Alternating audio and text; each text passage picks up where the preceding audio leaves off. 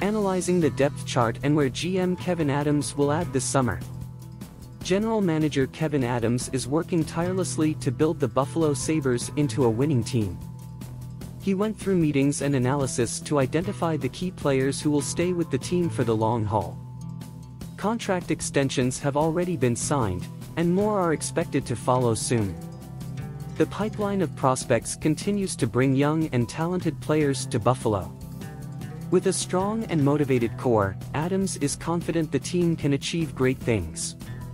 To lift a 91-point team to the Stanley Cup playoffs, Adams must fill the roster with quality players who can address the weaknesses that caused the Sabres to miss the postseason by one win.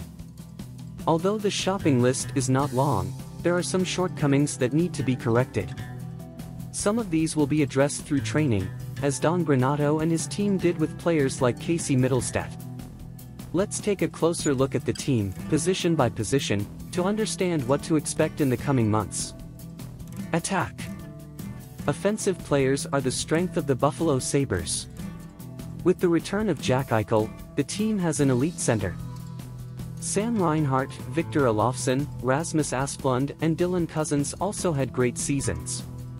The team needs players who can consistently contribute and help balance the lines. The Sabres need to add a quality attacking player to complement their existing players' abilities.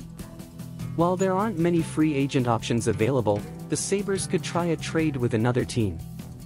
They can use defender Rasmus Ristolainen as a bargaining chip, as he has significant market value.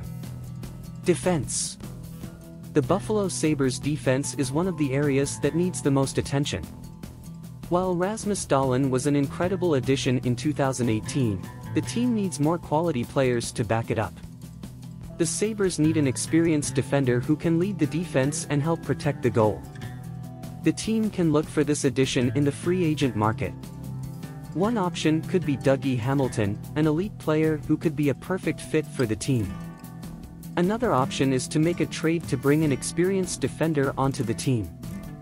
Goalkeeper the situation in goal is intriguing. Sabres have two talented goalkeepers in Linus Ullmark and Ukko-Pekka Luukkonen. Ullmark will be a free agent this season and is expected to receive several offers from other teams.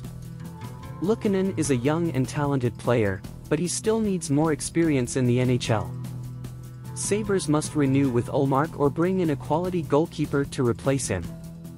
They could also opt to keep Ullmark and give Luukkonen more playing time so he can develop as a goalkeeper.